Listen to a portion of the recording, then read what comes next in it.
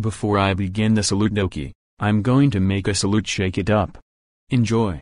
Shake it up? Yes, this show rocks. This show is about two characters and they like to go on awesome adventure. CeCe Jones is cute, and Rocky Blue is amazing. The acting are good, the music and sound effects is catchy, and the theme song sounds is nice. Too bad it got cancelled soon.